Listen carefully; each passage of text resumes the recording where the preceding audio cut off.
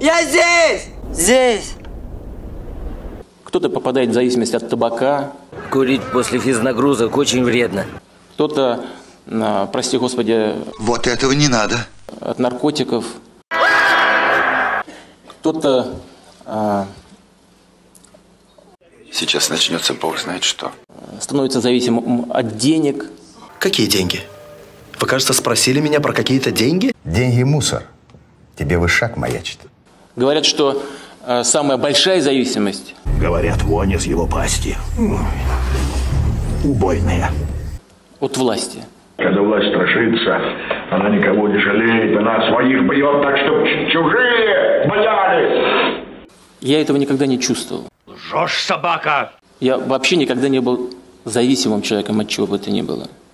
А если бы ты поумнее был у меня, то давно бы делом занялся. Я считаю, что если А что, если помой посолить, они будут лучше пахнуть?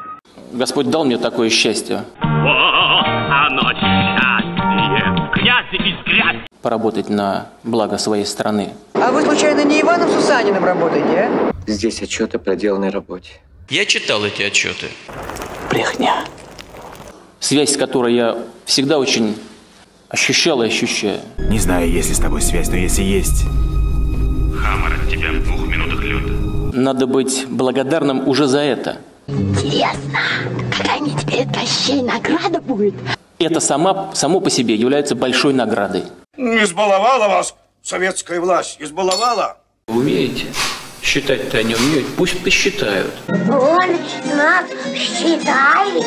Считаю абсолютно э, не, неприемлемым. А ему никто не давал на это права. Это все просто как апельсин. Вы знаете, что смешав бензин с апельсиновым соком, можно изготовить напалм?